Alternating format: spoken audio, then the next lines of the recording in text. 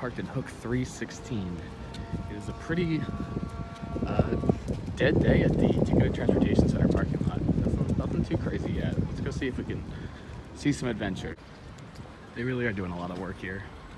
It's interesting seeing all this because the uh, the tarps have to come down for the hurricane that's coming in a couple days. Uh, so you kind of get this this crazy like in-depth look at, at Disney construction.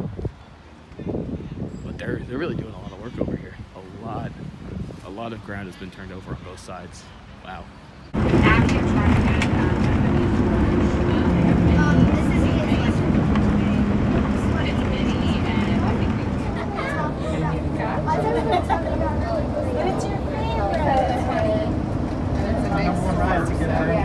And it's kind of scary. It's funny and scary at the same time.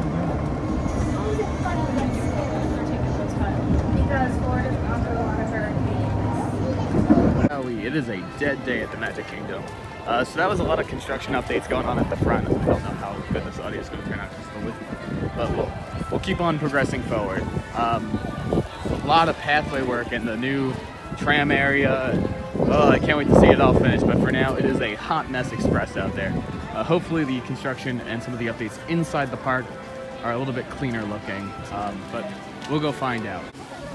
So there are some ominous looking clouds coming up, but nothing too crazy right now. Um, it's just a very warm, kind of a little bit on the windy side day at Magic Kingdom, but nothing, nothing too crazy.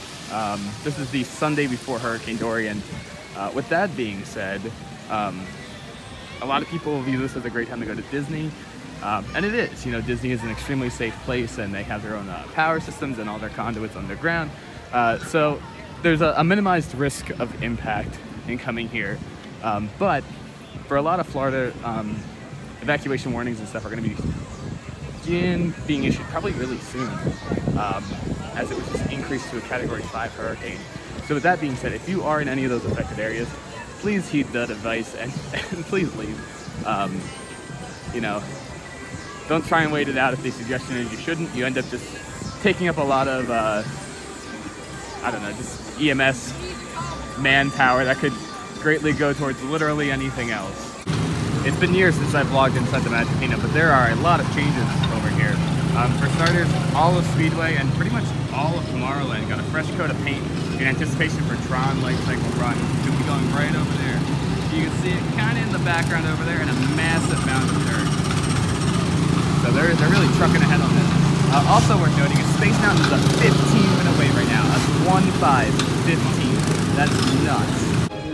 I am curious if any of the old ornamentation from like the 90s Tomorrowland refurb is going to be sticking around or you know what exactly is being removed because it looks like in its current iteration that all of this stuff is staying it's just been painted over so we'll see I guess you have the expanded outdoor seating area over there and then the uh, freshly repainted Tomorrowland well freshly as of a couple months ago repainted Tomorrowland Speedway area I think this was the last area to be um, to be repainted for tomorrow, and I haven't seen much else going on since then. Uh, it is worth noting up top, all the flags have been rolled and uh, and zip tied off. That's in preparation for the uh, hurricane. This is a strange view. All of the banners have been rolled up and, and uh, zip tied up. Uh, yet again, in preparation for the hurricane. So it's it's pretty weird being able to walk through here and it being so open like that. This is probably the best view of Tron that you can get inside the park. It is a big coaster. It's pretty short though. I believe it's only around 80 or so seconds. Um, but that's not too, too short for a launched coaster. I think Rock 'n' Roller Coaster is probably about 95, uh, but don't quote me on that.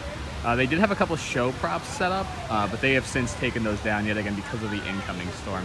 But it's really, it's really moving along. You see up there is where it enters inside the building. Uh, it starts outside, well, it starts inside the loading area, then launches outside uh, through a giant overhang canopy and then back inside, and that's where it enters inside again. So yeah, that's Tron, and then there's Space Mountain for comparison. Oh, it's gonna be so cool when this is open.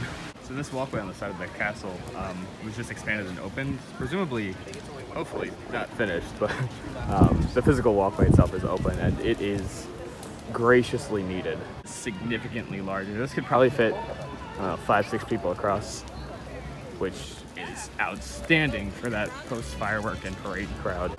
I don't really know what they're planning here, but whatever it is, I'm a fan and I look forward to it. This is over in Liberty Square. I'm assuming it's going to be some sort of covered seating area or something.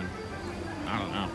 That clip, and it didn't really make a lot of sense. There wasn't a lot of context to it. So there's Haunted Mansion, there's Harbor House, and then right over here, over by the little market thing, is where this construction is. So there you go. There's your context. Our Fantasyland flags have been tied up yet, but I don't expect that to happen for a little bit later. It's got really loud. I think that's Small World. Like a giant echo chamber in there. But yeah, it's it's starting to look a little bit more ominous out. I may be heading out soon.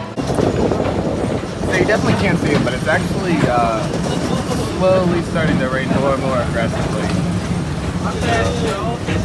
I wouldn't be surprised if some of the outdoor attractions start closing soon. Uh, but here's a much closer and, and uh, stronger view of Tron. We're going to go right past it.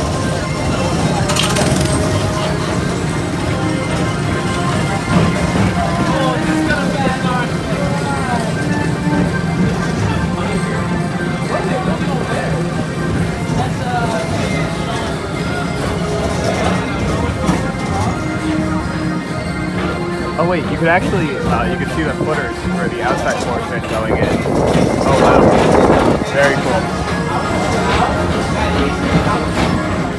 Yeah, guys, I realized I just kind of ended that video pretty abruptly. Uh, shortly after People Mover, it started raining, so I ended up leaving.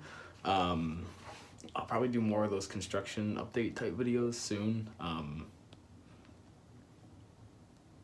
probably Epcot. I'll try to get there like tomorrow or so, um, just to try and get a little bit more of just the current state of the parks and, and prepping for the storm. And then just with all the changes going on Epcot, got to be pretty cool to, to get some updates over there. So stay tuned, I guess. Alrighty, thanks for watching, guys. Don't forget to subscribe and like, because I guess I'm back. See ya.